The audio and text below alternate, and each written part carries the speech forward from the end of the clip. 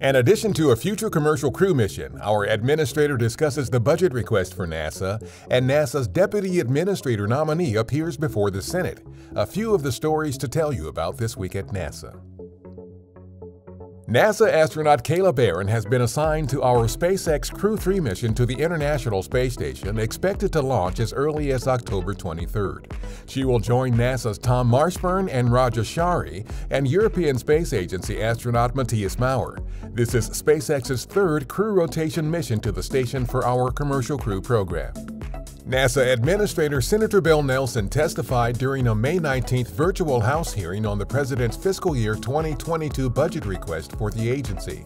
The $24.7 billion funding request supports a wide range of NASA programs and activities. This is an exciting time for NASA. We are having a lot of things happen just in this next year. We launch the largest, most powerful rocket ever, the SLS, uh, in its first uh, maiden flight.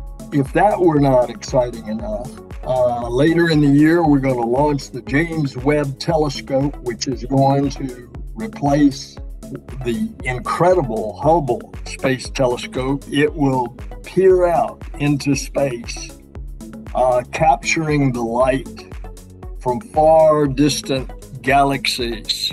He also pointed to other upcoming milestones for the agency in science, STEM education, aeronautics, and more. On May 20th, former NASA astronaut Pam Melroy, the president's nominee to be NASA's next deputy administrator, appeared before the Senate Committee on Commerce, Science, and Transportation during a confirmation hearing on Capitol Hill. I've worked in aerospace for my entire career and have experience in each of NASA's four mission areas. If confirmed, I'm ready to help Administrator Nelson lead and manage NASA on day one.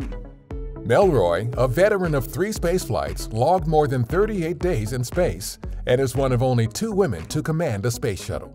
On May 20th, engineers at our Langley Research Center in Hampton, Virginia, wrapped up the latest series of water impact drop tests for NASA's Orion spacecraft.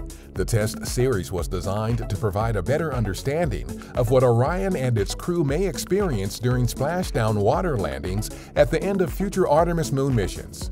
Data from the tests are also used to help verify that Orion fulfills structural design requirements ahead of Artemis 2, our first Artemis mission to the moon with astronauts. Engineers at our Stennis Space Center conducted an RS-25 engine test on May 20th, continuing the latest test series in support of development and production of these engines. Four RS-25s will power our Space Launch System rocket during future Artemis missions, including flights that will land the first woman and first person of color on the moon. NASA recently flight tested the Airborne Location Integrating Geospatial Navigation System, or ALINS, in preparation for future acoustic validation flights of our X-59 Quiet Supersonic Technology airplane. ALINS will help a chase aircraft outfitted to gather acoustic data on these supersonic flights move into various positions relative to the X-59 to collect the most accurate data. These acoustic validation flights are designed to confirm that the sonic thump created by X-59 during flight is as quiet as it's designed to be and not as loud as a typical sonic boom. Our Advanced Air Mobility National Campaign wrapped up another round of integrated dry run testing at our Armstrong Flight Research Center in California using a helicopter as a stand-in for an urban air mobility vehicle. These future vehicles might transport people or cargo in the airspaces over urban areas. NASA, the Federal Aviation Administration, and partner companies are combining efforts to create a safe new air transportation system for these vehicles. That's what's up this week at NASA. For more on these and other stories, follow us on the web at nasa.gov/twan.